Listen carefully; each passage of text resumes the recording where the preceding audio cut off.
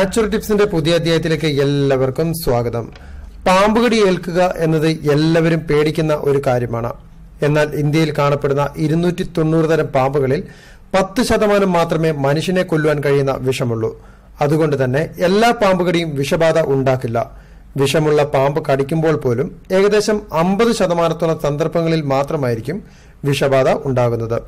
മൂർക്കൻ ശംഖുവരേൻ അണലി ചുരുട്ടമണ്ഡലി എന്നീ പാമ്പുകളുടെ കടിയേറ്റാണ് ഇന്ത്യയിലുണ്ടാകുന്ന തൊണ്ണൂറ് ശതമാനം മരണവും സംഭവിക്കുന്നത്. അതിനാൽ ഇവയെ ബിഗ് ഫോർ എന്നറിയപ്പെടുന്നു. ഇനി പാമ്പ് കടിയേറ്റാൽ ശ്രദ്ധിക്കേണ്ട കാര്യങ്ങൾ എന്തൊക്കെ? ആദ്യമായി ചെയ്യേണ്ടത് കടിയേറ്റ ആളെ പറഞ്ഞ് പേടിപ്പിക്കാതിരിക്കുക. പേടിപ്പിച്ചാൽ കടിയേറ്റ ആളുടെ ഹാർട്ട് ബീറ്റ് കൂടുകയും അതുമൂലം പാമ്പിന്റെ വിഷം രക്തത്തിൽ കൂടി വളരെ വേഗത്തിൽ ശരീരത്തിൽ പടരുകയും ചെയ്യും. കഴിയുന്നതും കടിയേറ്റ ആളെ ആശ്വസിപ്പിക്കുക.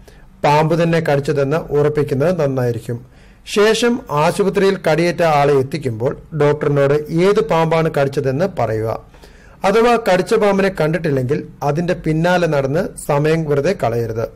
കടിയേറ്റ ആളെ എത്രയും പെട്ടെന്ന് ആശുപത്രിയിൽ എത്തിക്കുക എന്നതാണ് നമ്മുടെ ദൗത്യം.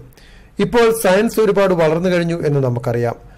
കടിച്ച പാമ്പ് ഏതാണെന്ന് അറിഞ്ഞില്ലെങ്കിൽ തന്നെ ആശുപത്രിയിൽ വെച്ച് കടിയേറ്റ ആളെ ടെസ്റ്റ് ചെയ്ത് കടിയേറ്റത് വിഷപ്പാമ്പാണോ? എത്രത്തോളം വിഷമുണ്ട് എന്നിവ മനസ്സിലാക്കുവാനുള്ള സാങ്കേതിക വിദ്യ ഇപ്പോൾ മിക്ക ആശുപത്രികളിലും ലഭ്യമാണ്. കാലാവസ്ഥ മാറുന്നതനുസരിച്ച് പാമ്പുകളുടെ വിഷത്തിന്റെ വീര്യത്തിന് ഏറ്റക്കുറച്ചിലുകൾ ഉണ്ടാവാറുണ്ട്. കടികൊണ്ട ഭാഗം ഒരിക്കലും ഇളക്കാൻ പാടുള്ളതല്ല. കടിച്ച ഭാഗത്തിന്റെ അടിഭാഗത്ത് സപ്പോർട്ടിന് വേണ്ടി ഒരു സ്കെയിൽ അല്ലെങ്കിൽ പലക പോലെയുള്ള വസ്തു വെച്ച് അതോടുകൂടി കെട്ടുക. ഇതുമൂലം ഇളക്കം സംഭവിക്കുന്നത് ഒഴിവാക്കാം. രോഗിയെ ഒരിക്കലും നടക്കുവാനോ കിടത്തുവാനോ ശ്രമിക്കരുത്. രോഗിയെ ഒരു കസേരയിൽ ഇരുത്തുക. കടിച്ച ഭാഗത്തിന്റെ മുകളിൽ ഒരിക്കലും കെട്ടരുത്. പലക അല്ലെങ്കിൽ സ്കെയിൽ വെച്ച് കൂട്ടിക്കെട്ടുന്നത് കടിച്ച ഭാഗം ഇളക്കാനോ ആടി എളിയുവാനോ ഉള്ള അവസരം ഒഴിവാക്കുവാൻ വേണ്ടിയാണ്. വളരെ ടൈറ്റായി കെട്ടുവാൻ പാടുള്ളതല്ല. മുറിച്ച ഭാഗത്തു നിന്ന് രക്തം ഊറ്റിക്കളയാനോ വലിച്ചെടുക്കുവാനോ ശ്രമിക്കാതിരിക്കുക. കടികൊണ്ട ഭാഗത്തിന്റെ മുകളിൽ മരുന്ന് വെച്ച് കെട്ടാതിരിക്കുക. കടികൊണ്ട ഭാഗം നന്നായി സോപ്പിട്ട് കഴുകുക. ഉടനെ ആശുപത്രിയിൽ എത്തിക്കുക ആശുപത്രിയിൽ എത്തിച്ചതിന് ശേഷം വേണ്ട ടെസ്റ്റുകൾ ചെയ്ത് ചികിത്സിപ്പിക്കുക.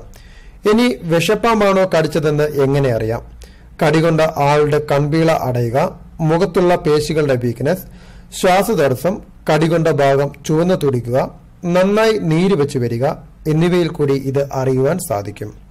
ഈ വിവരണം പരമാവധി ഷെയർ ചെയ്ത് എല്ലാവരിലും അറിയിക്കുക. എല്ലാവർക്കും ഉപകരിക്കട്ടെ. ഈ വീഡിയോ നിങ്ങൾക്ക് ഇഷ്ടപ്പെട്ടുവെങ്കിൽ ഈ വീഡിയോ നിങ്ങൾ ലൈക്ക് ചെയ്യുക.